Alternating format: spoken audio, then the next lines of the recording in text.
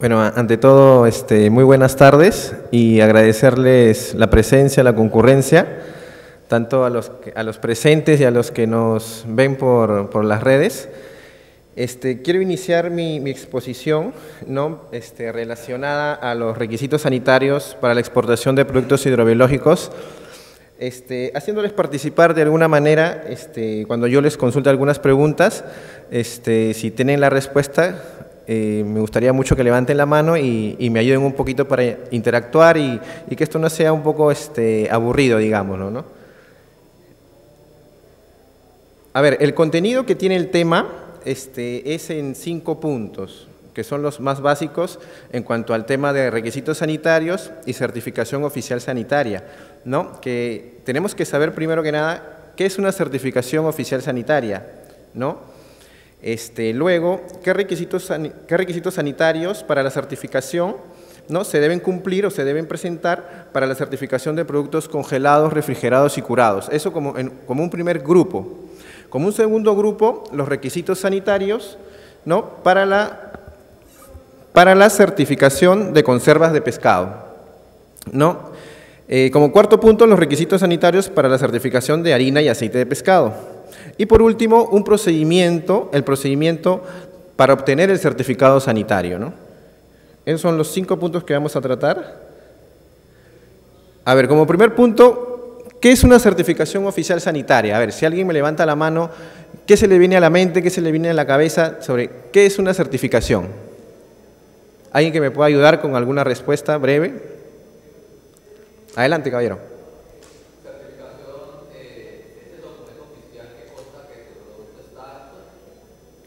Sí, es una muy buena respuesta, sí, sí, es válida, es válida. ¿Alguna segunda respuesta? ¿Aprobación de, de qué? También es correcta. Vamos a ver qué dice la diapositiva en cuanto a la definición de una certificación sanitaria oficial. ¿no? Es el documento otorgado a solicitud de parte previa conformidad de requisitos. Requisitos como cuáles, como una inspección de lote, eh, tal vez un cumplimiento de un análisis microbiológico, ¿no? en cumplimiento a alguna, alguna norma sanitaria, en este caso la que está vigente para nosotros, para el Perú, es, nuestro famoso y ya conocido y muy nombrado Manual de Indicadores Sanitarios de Inocuidad para Productos Pesqueros este, y Acuícolas. ¿no? Otro aspecto que también se evalúa para la certificación es las plantas, la habilitación de las plantas. Este, todo eso englobado en la norma sanitaria que es el Decreto Supremo 040 del 2001 y el Manual de Indicadores Sanitarios e Inocuidad, como les comento. A ver, otra definición. Es el documento que acredita que una mercancía es apta para su consumo, sea para consumo humano, sea para consumo animal, ¿no? Este, bueno, ¿quién lo solicita? Esa solicitud de parte, ¿no? Un exportador está obligado obligado a solicitarlo o adquirirlo. ¿Por qué? Porque es un requisito del importador en destino y también de la autoridad sanitaria en destino. ¿no? Entonces, en este caso, es un documento de los, de los documentos que se necesitan para la exportación, es uno de los principales, ¿no? el sanitario. A ver, en esta lámina eh, les he puesto yo todos los países con los cuales nosotros tenemos algún tipo de vínculo comercial especial, ¿no? Eh, lo que significa que tanto nuestras plantas peruanas como las plantas extranjeras de estos países están sujetas a auditorías continuas y constantes a fin de garantizar que los productos que se desprenden de, estas, de estos estados sean conformes y sean aptos para el consumo humano, ¿no? en su mayoría. A ver, los requisitos sanitarios para la certificación de productos congelados, refrigerados y curados. Lo, hemos englobado todo en, uno solo, ¿por qué?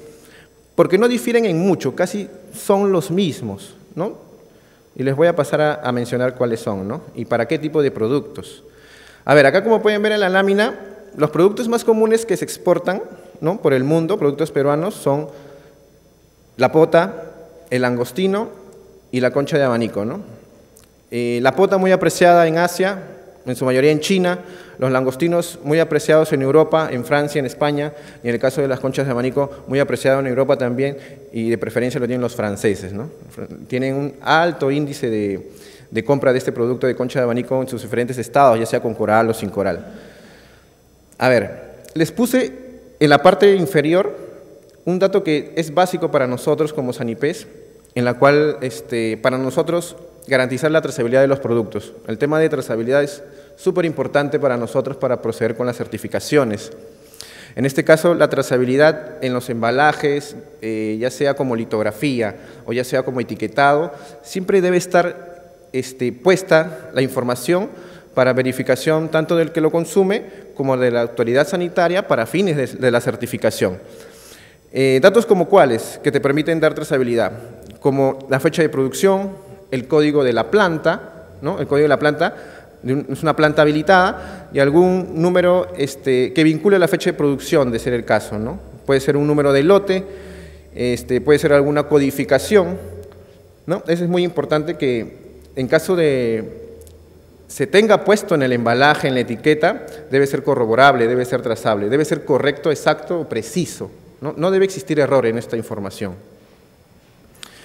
A ver, este, en esta lámina se muestra lo que para los productos hidrobiológicos crudos, frescos, refrigerados, congelados, dice acá, salpresos, ahumados en frío y precocidos, no destinados al consumo humano directo.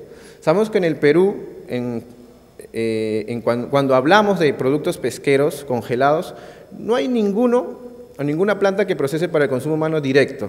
Debe haber un proceso previo que se dará en destino para que este producto pueda ser consumido. Entonces, en este caso, también se incluyen los productos que son precocidos, Ojo, no cocidos, como les repito, porque no hay productos cocidos este, en la industria peruana pesquera. En este caso, solamente les pedimos seis microbios, que está establecido en la norma, que son los aerobios mesófinos, los que conocen un poquito de, microbiología este, sabrán a qué me refiero, el Echerichia coli, el Staphylococcus aureus, la salmonella, el Vibrio cholerae y el Vibrio parhemolyticus. Todo con una exigencia de N5, o sea, cinco vías, cinco veces, cinco análisis por cada microbio. Hay unos parámetros, unos límites de mínimos y máximos, tolerancias que se deben cumplir. Esta es la especificación para nosotros poder dar conformidad al momento que evaluamos y poder certificar. Pero no es lo único, este es, eh, eh, en el caso de solo la microbiología, porque hay otros requisitos más. ¿Como cuáles, por ejemplo? A ver, en este caso continuamos con la microbiología de moluscos bivalvos y crustáceos. Ya no de productos este, de peces y cefalópodos, sino ahora de moluscos bivalvos y crustáceos. Como ustedes pueden ver, los, microbios son los mismos. Lo único que se está excluyendo aquí es el Vibrio cholerae y la tolerancia varía, ¿no? varía un poco. Todos estos requisitos, todos estos parámetros están dados y establecidos ya en el Manual de Indicadores Sanitarios. A ver, en el caso de los moluscos bivalvos, también para la certificación, como requisito sanitario, solicitamos el hepatitis A al producto terminado. Anteriormente, hace algunos años atrás, pedíamos lo que es las toxinas, la DSP, la PSP, la SP, ¿no? diarreica, paralizante, amnésica. Pero esto ya se ha dejado de lado, puesto que el SANIPES, como autoridad sanitaria del país, realiza estos controles de manera semanal ¿no? a los productos, a la materia prima extraída en las concesiones, ¿no? Este, o a las asociaciones que tienen a cargo el cultivo de esta especie. Entonces, para la certificación ya no lo solicitamos, pero sí verificamos de manera interna que estos resultados hayan sido conformes cada vez, que se ha tomado muestra y se haya analizado. Entonces, pedimos un N1, o sea, una vía, un análisis, cuando el cultivo es suspendido, ¿sí? controlado y suspendido. Y pedimos en cinco vías, hepatitis N5, cuando el cultivo es de fondo, ¿Sí? A ver, en el caso de los crustáceos, de los langostinos, para la certificación, eh, lo que le pedimos también es una determinación de metabisulfito, ¿no? Determinación de sulfitos. En el caso de los langostinos congelados, este, que no supere los 150 ppm o miligramos por kilogramo, ¿no? En el caso de crudos. En el caso de productos cocidos, no debe superar el 50 ppm o miligramo por kilogramo. Este es un aditivo alimentario que también es controlado ¿no? que lo verificamos este, de acuerdo al resultado que se obtenga.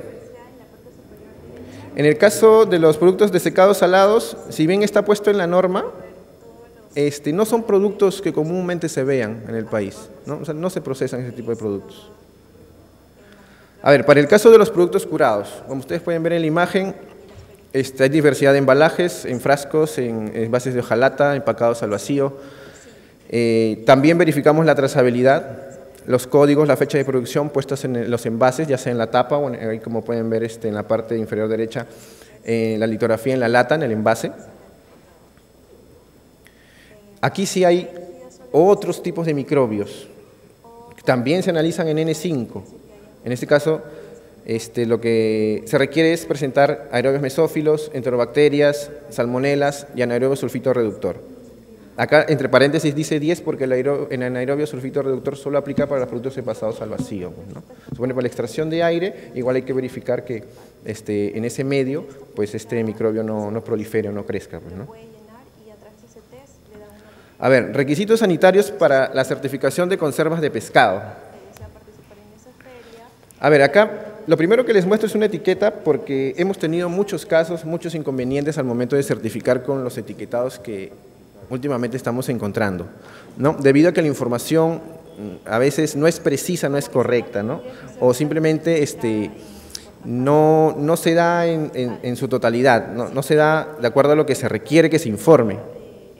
Por ejemplo, es importante para nosotros que una etiqueta cuente con el nombre de la empresa productora o distribuidora o este, la que importa en este caso. ¿no? Esta es una etiqueta nacional, ¿no? de producto para mercado nacional.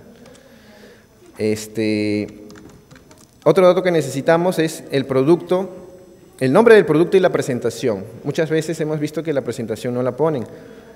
Eh, ¿Y por qué les digo esto? Porque esta vez pone, por ejemplo, filete de caballa, pero no te ponen en qué líquido de gobierno está. ¿no? A veces te ponen un gratet, de, anchoeta o de caballa.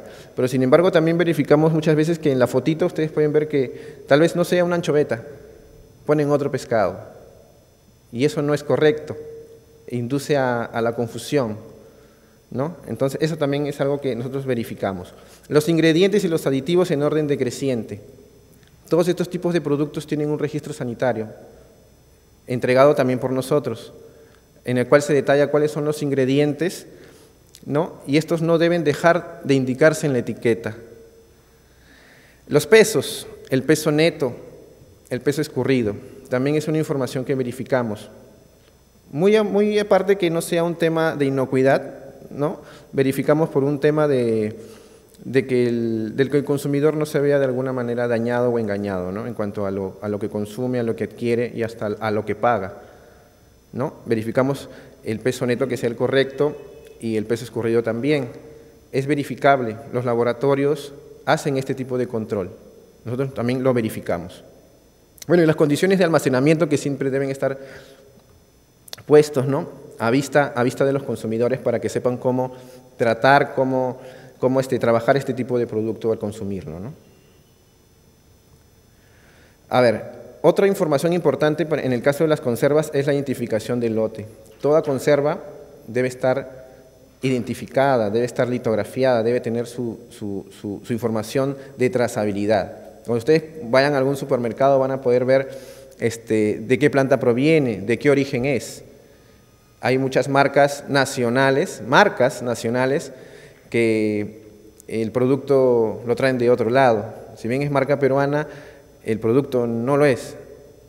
Entonces, bueno, eso ya queda a criterio de cada consumidor de qué es lo que adquiere y qué es lo que consume, ¿no? Pero es una información muy relevante para nosotros que verificamos siempre. En el momento de certificar este tipo de productos. A ver, y lo que le pedimos también adicionalmente a toda esta información que debe tener las latas, los envases, es este, el control de los cierres, como parte del análisis físico-sensorial. Sí, ¿El caballero quiere hacer una intervención? Sí, buenas tardes. Eh, si podría retroceder a la, diapositiva anterior, un favor. ¿La anterior? Sí. Eh, quería preguntarle ahí en la identificación del lote, ¿cómo se lee?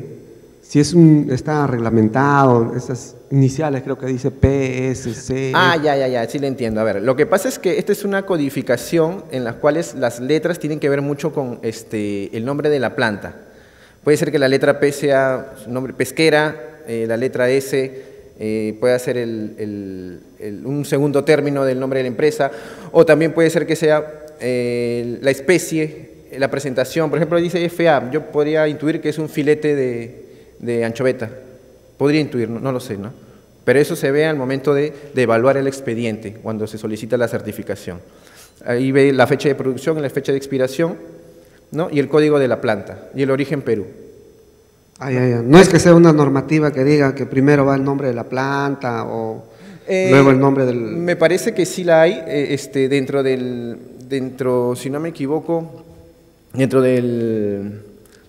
Ay, del, de las ay, ¿cómo se dice esto? De las características del producto hay una ficha técnica, en la ficha técnica. En la ficha técnica se define qué significa cada dato, cada letra, cada número. Ah, ya. gracias.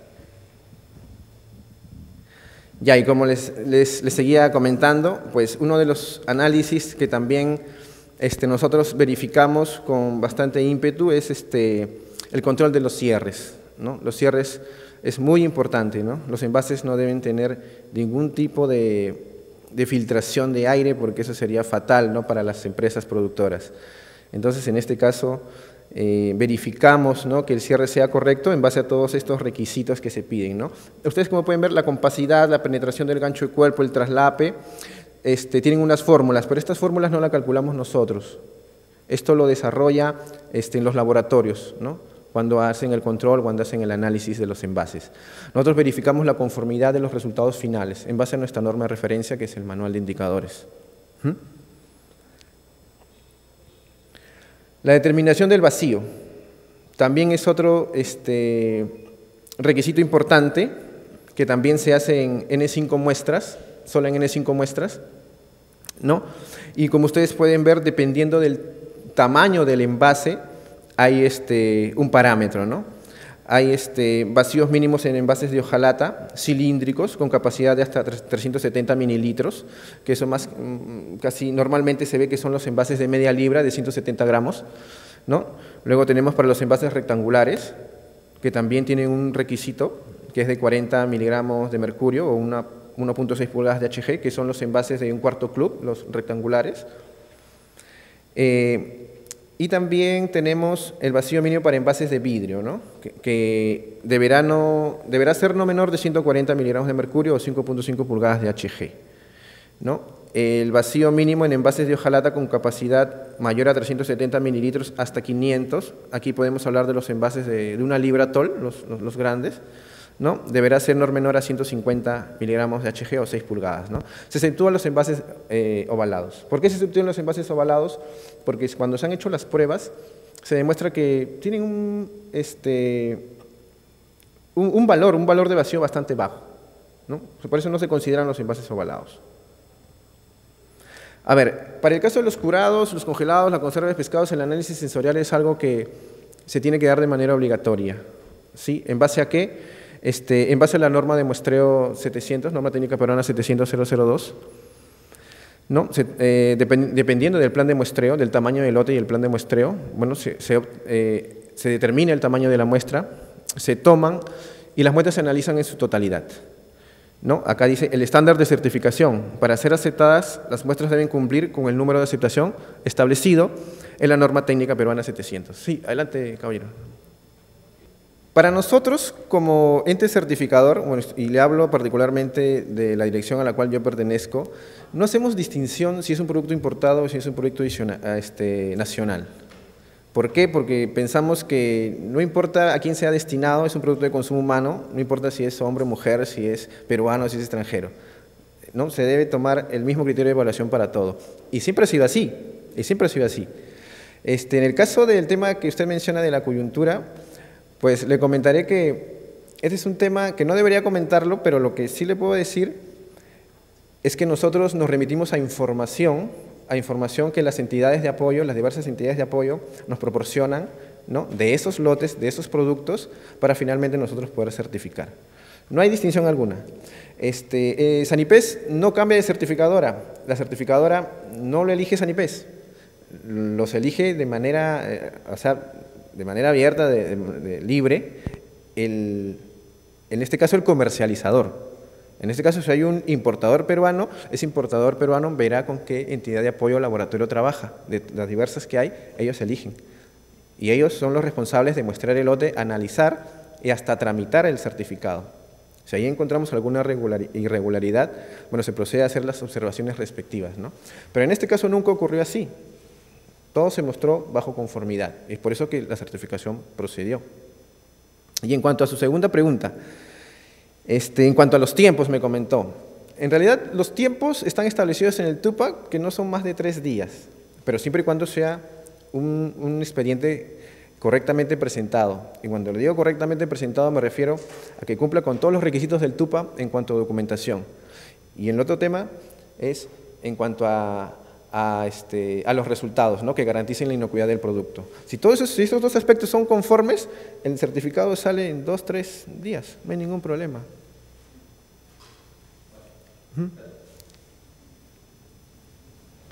A ver, para continuar.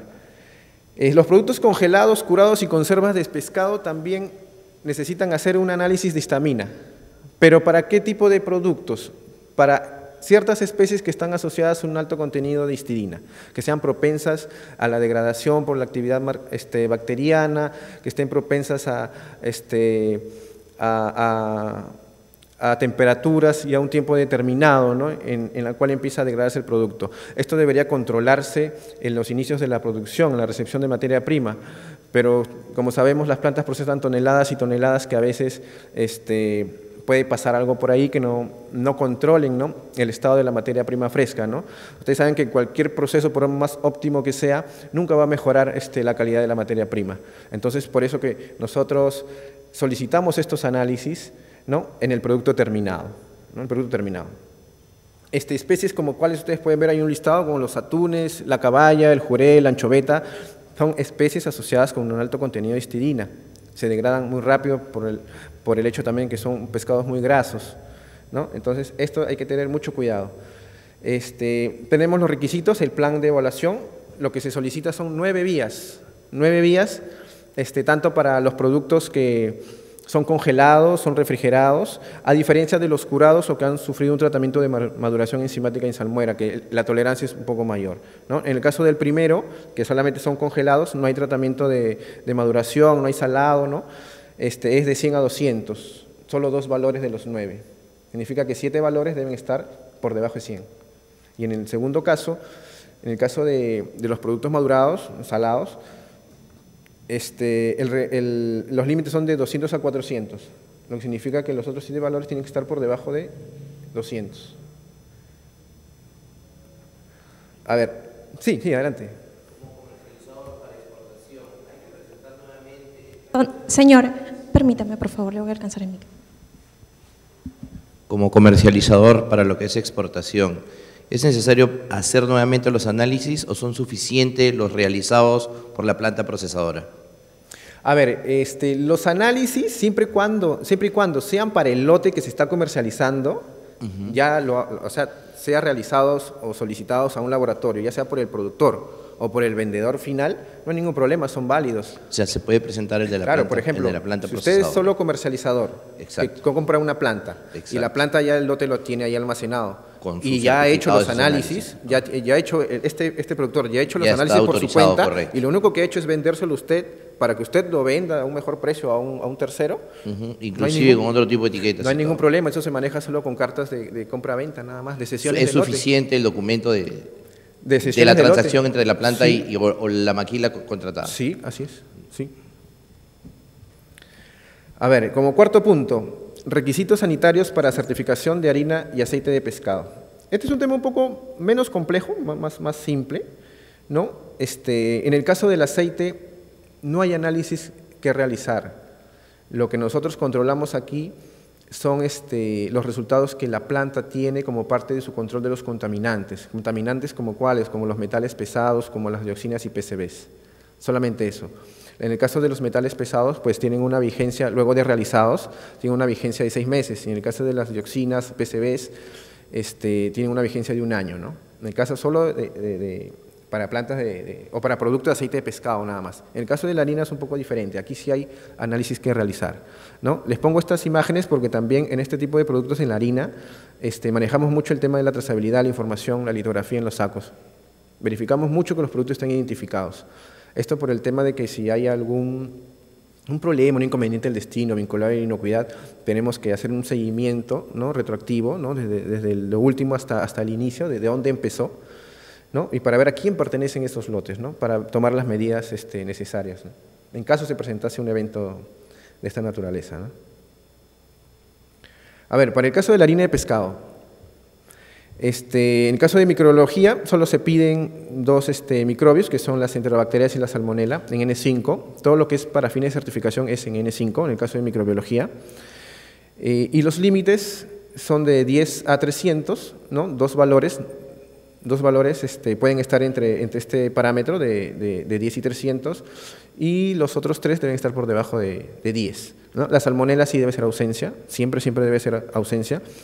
Y también solicitamos lo que es microscopía óptica para piensos, ¿no? en este caso para la harina. No, no debe haber este, eh, restos de, de, origen, de origen este, animal de tierra, ¿no? no puede haber, no puede encontrar.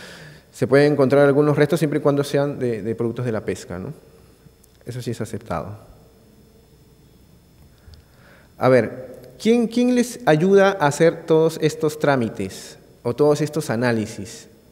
este, los administrados le llamamos nosotros, este, los que también se les conoce los, los este, exportadores, los comercializadores, no hacen su trámite directamente con nosotros. Nosotros no le hacemos análisis a nadie. A nadie le hacemos análisis. Eh, espero que no se me haya escapado ninguna, pero estas son eh, en su mayoría las, las empresas, los laboratorios que nosotros llamamos entidades de apoyo, acreditadas por el INACAL y por el INDECOP, este, perdón, por el INACAL y por nosotros, por Sanipes, ¿no? para ejercer actividades de inspección, muestreo y de análisis, ¿no? de ensayos. A su vez, ellos van a tramitar para ustedes o por ustedes, a nombre de ustedes, el certificado sanitario. Ellos los pueden asesorar este, en gran parte en los requisitos sanitarios también y asesorar en la documentación pertinente ¿no? que se requiere para obtener un certificado sanitario. A ver, y para ir terminando mi, exposición, este, de manera breve quiero exponerles un poquito el procedimiento de certificación sanitaria, que actualmente ha variado bastante. ¿no? Anteriormente, hace años atrás, lo manejábamos todo hasta en tres etapas, ¿no? pero actualmente estamos tratando de, por optimizar tiempos en beneficio de los administrados, de los exportadores, comercializadores, en que sea solo en una sola etapa. ¿no? Entonces, este, en conversaciones, ¿no? este, para ver qué es lo que ellos, los exportadores, los comerciales requieren, porque ellos todos quieren un trámite muy acelerado, como mencionó el caballero, que a veces eh, ha demorado mucho un trámite. Entonces lo que, lo que se busca es que este, este procedimiento nuevo reduzca esos tiempos, ¿no? que sea que una sola vez tramitas y, y si todo es conforme yo te entrego tu certificado. Ya no hay una primera etapa, una segunda etapa. Este, y todo se inicia así, ¿no? Hay un solicitante que es un exportador que contacta a una entidad de apoyo, que es el laboratorio. Este laboratorio va a tomar la muestra, ¿no? va a hacer los análisis que normalmente demandan de cuatro a cinco días. Este, en ese plazo de cuatro o cinco días ya pueden ir recopilando el laboratorio la información que los comercializadores le proporcionen. Ya la puede tener y solo debería estar a la espera de que el informe de ensayo con los resultados finales de ese lote estén listos. El trámite se hace por la BUCE. Ya ustedes, creo que todos conocen la BUCE, la ventana única, ¿no? Este, se genera un número de expediente, ¿no? una vez pagado este, el comprobante de pago bancario que arroja la BUCE, ¿no? se paga en cualquier banco, ahora, ahora lo pueden desde la misma de plataforma virtual de buses se pueden hacer los pagos, se genera un número de expediente y de manera automática nosotros, mediante nuestro sistema integrado, recibimos el expediente, ¿no? Este expediente puede ser asignado a, cualquier evaluador de la serie de evaluadores que hay para que este, se empiece la verificación de, la información, tanto requisitos sanitarios como documentarios, y si todo esto es conforme, se emite el certificado.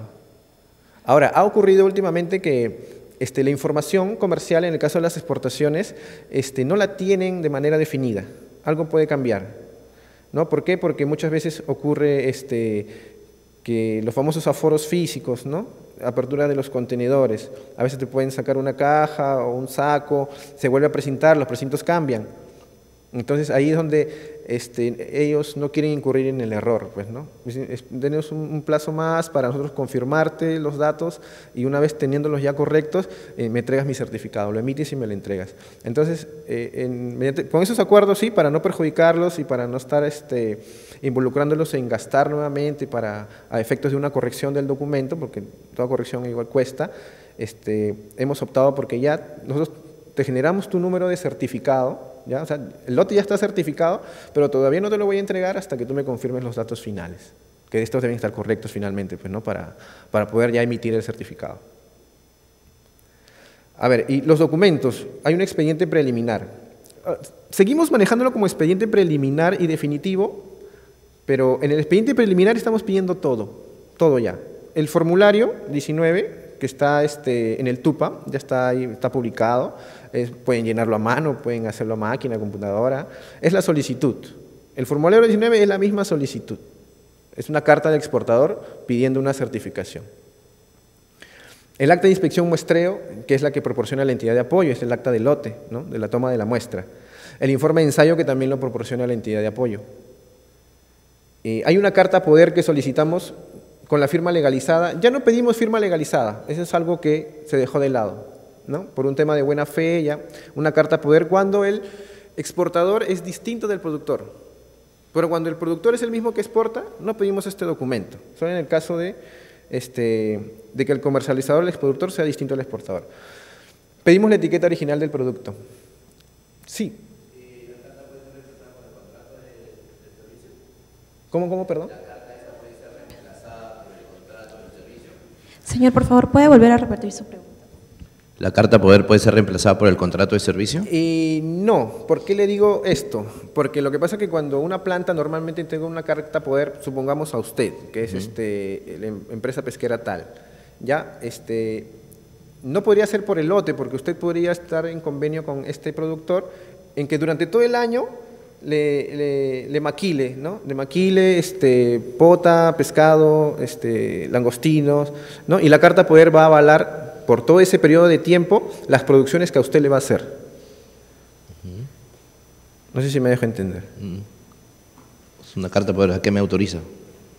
A ver, lo que pasa es que la carta poder informa, o sea, el productor hace saber, ¿no? Que está maquilando para determinada empresa y que solo esta empresa debe comercializarlo. ¿Por qué? Porque ocurren que yo proceso, yo planta, proceso para ti y él se lo vende a otro y este otro es el que termina exportando el lote. Y a veces hay unos problemas de confidencialidad, de, oye, ¿por qué lo he exportado a él si yo te lo vendí a ti? ¿No? Entonces, para evitar esos temas, hay una carta poder que define quién es el único comercializador de determinados productos por cierto periodo de tiempo. Pero en este caso, yo le estoy pidiendo a él el servicio, con quien lo comercialice, ¿tendría que intervenir la planta? Bueno, sí, pero es parte también de lo que el TUP establece. Pues, o sea, yo puedo comercializarlo con que a mí mejor me parezca, ¿no? O sea, me está restringiendo a con quién puedo comercializar o si lo puedo o lo tengo que exportar directamente yo y no hacer de intermediario. Claro, como le digo. O sea, tengo que pedir el permiso para yo poder exportar. claro, si fuera así, el, o sea, el, el negocio sea solo entre usted y el productor, yo creo que no habría mayor problema. Pero cuando ya interviene lo que es la, sesión de lotes, de que yo ya es mi lote, pero te lo vendo a ti y depende de él se lo vende a otro, ahí es donde hay un tema en que nosotros debemos estar informados. Es por un tema más que nada informativo. Ok, como les seguía comentando, la etiqueta original del producto. La etiqueta original, yo de manera personal este, siempre les, pido a, pido que se les oriente a los, a, los exportadores a que siempre tomen una foto a la caja, una foto al saco, porque muchas veces envían un proyecto de etiqueta en Word, en Excel, lo elaboran de acuerdo al requerimiento del, del, importador. ¿no? Pero resulta que nos hemos también tocado con que este proyecto de etiqueta lo envían adjunta con una declaración jurada de etiqueta. ¿no? Yo te juro que esta etiqueta es la que voy a usar en mi, en mi, en mi lote. Y bueno, confiamos, pues, ya. Pero resulta que cuando llegó a destino hubo un tipo de rechazo porque le faltaba algún dato. Entonces, nosotros nos preguntamos qué pasó. Si en la etiqueta, en su proyecto de etiqueta sí estaba ese dato obligatorio, si ese dato importante sí estaba. pero resulta que no fue así. Entonces, nosotros por eso pedimos que sea una etiqueta original. ¿No? Si la etiqueta original nosotros detectamos algún tipo de error, pues estás a tiempo de enmendarlo. ¿no? ¿Y qué pasa cuando el producto sale sin etiqueta a ser etiquetado, en destino? Bueno, mira, eso depende del destino. En este, en este destino que es europeo, que es un poco este, bastante exigente. Permiten la importación de marca blanca, como le dicen. Eh, bueno, ha habido casos en que los lotes llegan y los retornan por algo tan simple como un error. Bueno, yo lo puedo subir como simple, pero... en ese caso ya es responsabilidad del importador si te lo pide carta blanca y... Eh, claro, así es, así es. A veces el importador no interviene solo, a veces también interviene la autoridad sanitaria. Pero pues, en ese caso la, la, unidad sanitaria no me va a permitir la salida del embarque o la autorización si es que no cuento con una etiqueta original, la cual no va a haber. No, lo que pasa es que la etiqueta... Me la van a exigir en destino. Claro, en destino. Tiene mucho que ver lo que el destino disponga. Que lo cual, igual que acá, una vez que llega allá, van a ser los etiquetados y los rotulados correspondientes para la importación. Mm, podría darse el caso. Pero pues, entonces no va a impedir que pueda sacar mi permiso a la hora que haga esto acá. No, no, porque como le digo, el, certificado, o sea, con la información que usted nos proporcione, si está correcta, su certificado va a ser entregado. Pero pues, en este caso no va a haber etiqueta original, que es uno de los, digamos, requisitos que estoy viendo ahí. Claro, o sea, por, por ejemplo, es una recomendación personal que yo doy pero es permitido, o sea, una declaración jurada con que esta etiqueta voy a utilizar es, aceptado, es aceptado. O la etiqueta, o sea, pero no necesariamente tengo que presentar el formato de etiqueta que va a ser utilizado en destino. Mm, no, no, no, o sea, la etiqueta, la etiqueta que se presenta es la etiqueta del lote cuando está acá en Perú, cuando, está, cuando se ha etiquetado en la planta. Por eso, pues, las, el producto de la planta sale sin etiqueta. No, imposible, no podría salir sin ¿Mm? Ah, bueno, si es con un tema de, para certificación, nosotros no aceptamos lotes que no tengan etiqueta. Podrá salir con un certificado de calidad, un certificado de análisis de algún laboratorio, sí, pero para efecto de certificación oficial no, todo tiene que ir etiquetado. A ver, eh, también solicitamos un acta de supervisión de embarque, que hasta hace poco este, lo tenía que hacer de manera obligatoria un laboratorio, una entidad de apoyo, ¿no? mediante su área de inspección tienen sus profesionales competentes para realizar las supervisiones de embarque los llenados de contenedor. ¿no? Este, la verificación de las condiciones, este, las temperaturas, el cierre, y todo eso se reportó en un acta.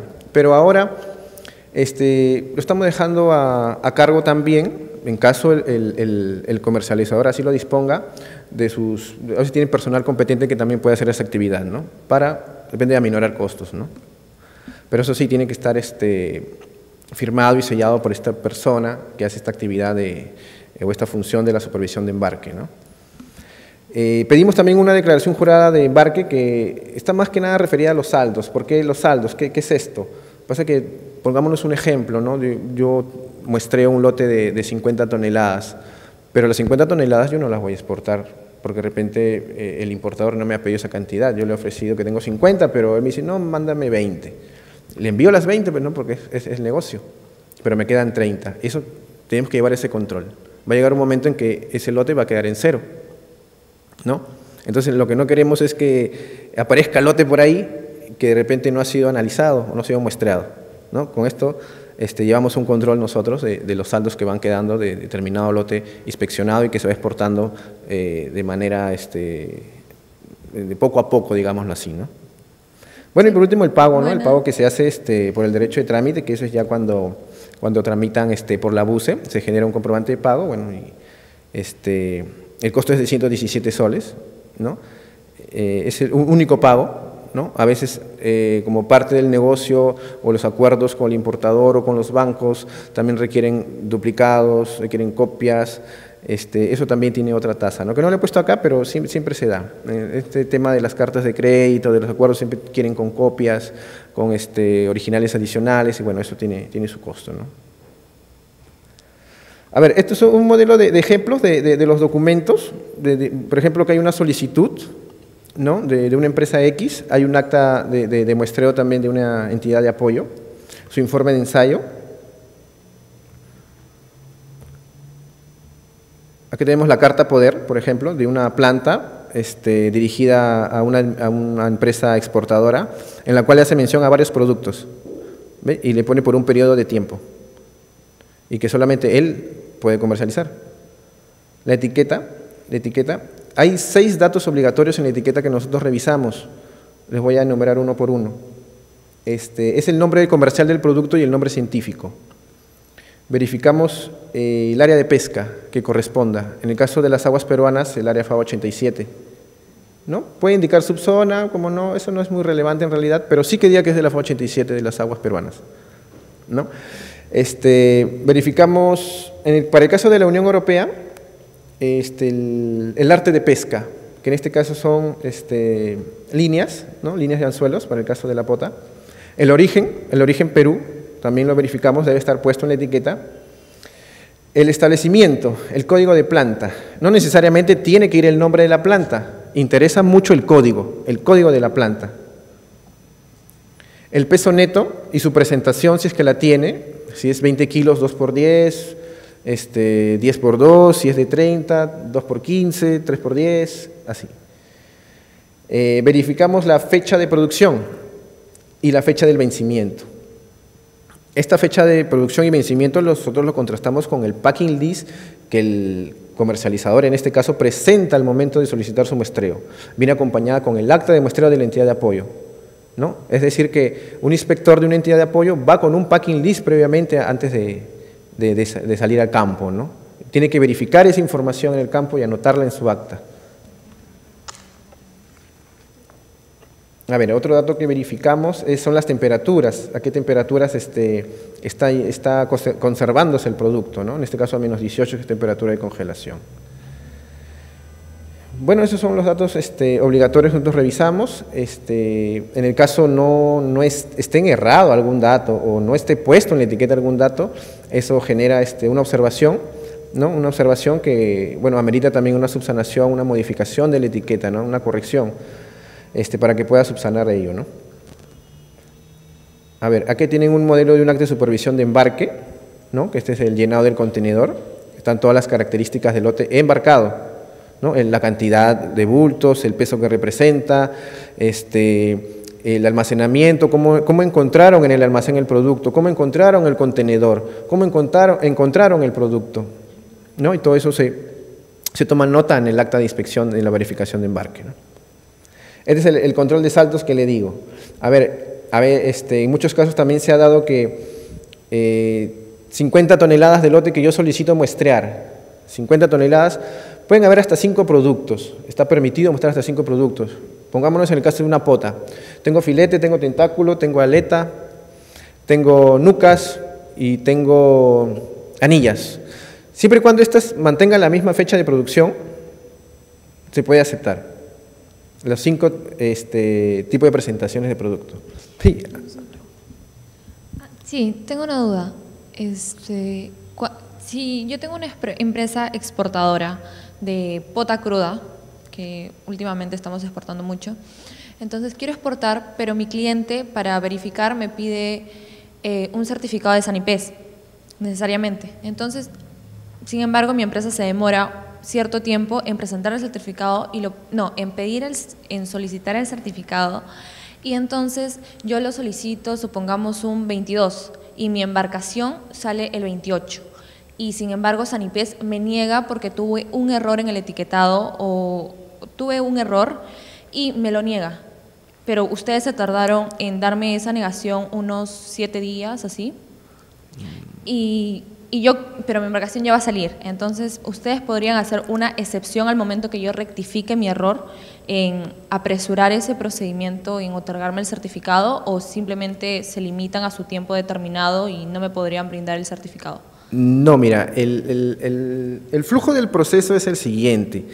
Lo que pasa es que tú presentas tu expediente con toda tu documentación eh, conforme. Bueno, en este caso había un error, pero nosotros entendemos que es conforme solo en el único caso de la Unión Europea debe haber una autorización de embarque previa. ¿ya? En el caso de la Unión Europea. Si nosotros no te damos esa autorización, tú no puedes este, cargar, no puedes embarcar, no puedes. Si lo has hecho, es a responsabilidad tuya y este, a sabiendas ya que no te vamos a certificar, porque has incumplido eh, un procedimiento administrativo. O sea que si yo no lo... No, pero si yo llego a corregir el error pero tengo solamente tres días porque mi embarcación ya va a salir, ustedes no pueden hacer una excepción en, en acelerar el proceso. Ah, de- no, eso es inmediato. Si tú rectificas, Es- si tú subsanas, eh, la atención es inmediata. No tengo que esperar al mismo tiempo que cuando, No, la no, primera no. vez. No, no, no. No, porque damos prioridad a los embarques de la Unión Europea porque este, la exigencia es esa, autorizar, ¿no? Claro. La- este, quieren cargar, quieren embarcar y este, tratamos de acelerar lo más que se pueda porque es un tema urgente, pues, ¿no? Eso sí. Pero si se te observa por algún error, tienes que subsanar de inmediato. Ah, Una vez subsanas, el mismo día te estamos atendiendo este, o evaluando nuevamente ese documento nuevo, ¿no? Corregido. Ya, gracias. Bueno, y como les comentaba respecto a los saldos, este, en este caso, como ustedes pueden ver, hay uno, dos, tres, hasta cuatro. ¿Por qué? Porque este, pueden ser de diferentes presentaciones o pueden presentar de varios lotes. De repente yo he mostrado un lote 1, un lote 2, un lote 3 y todos son de, tentáculo de pota, por ejemplo, como es el caso. Y puede exportar un poco de cada, de cada lote. Del lote 1 puedo sacar 5 toneladas, del lote 2 puedo llevarme 10 y del otro, del tercer lote puedo llevarme 5, ahí tengo mis 20 toneladas para exportar.